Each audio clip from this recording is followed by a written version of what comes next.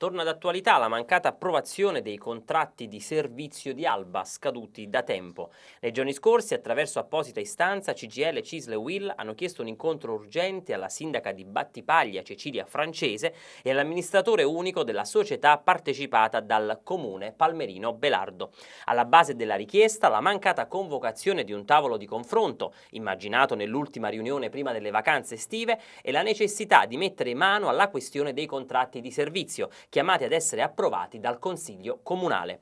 Tale situazione, quanto si legge nella lettera, non permette di svolgere l'attività lavorativa in condizioni gestionali e programmatorie adeguate.